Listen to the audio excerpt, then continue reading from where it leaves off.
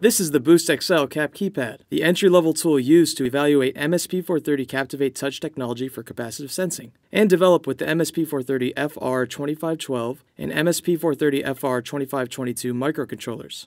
This video will walk you through the steps required to develop with the Cap Keypad Booster Pack using a Launchpad development kit. This method is preferred if you want to add capacitive sensing to your existing Launchpad project. We will cover two out-of-box demonstrations using the Launchpad and Cap Keypad Booster Pack.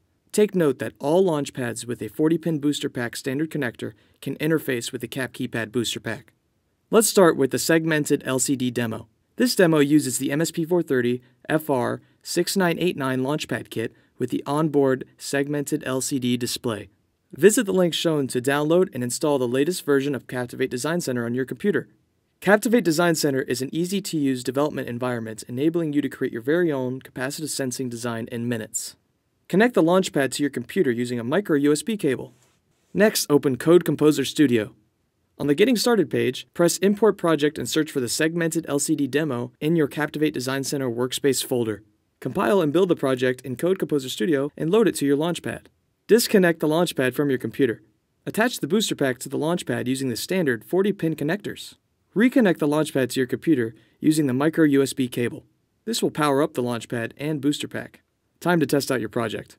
Touch any of the numbers on the keypad and see the key number on the LCD display. Up to six digits can be shown at a time. Touching the check mark and X keys will display enter and cancel respectively. The second demo combines capacitive touch with the QVGA LCD using the MSP430 F5529 Launchpad and the QVGA LCD booster pack.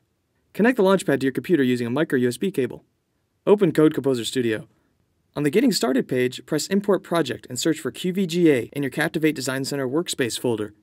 Compile and build the project in CCS and load it onto your Launchpad. Disconnect the Launchpad from the USB cable and attach it to the top of the Boost XL Cap keypad. Next, stack the QVGA LCD booster pack on top of the Launchpad, creating a three-board stack. Plug the micro USB cable back into the Launchpad and test your project.